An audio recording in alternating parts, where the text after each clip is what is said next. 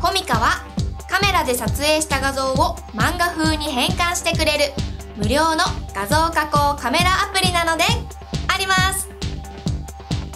1コマ撮影はもちろん2コマ以上の撮影も可能。ギャラリーからの画像の追加や吹き出しセリフの追加もできるのであります。明るさや影の調節スクリーントーンの変更ができ本物の漫画のような画像をることができます。コミカは出来上がった画像の保存や他のアプリへの共有も簡単。友達に自慢したくなるおすすめのアプリなので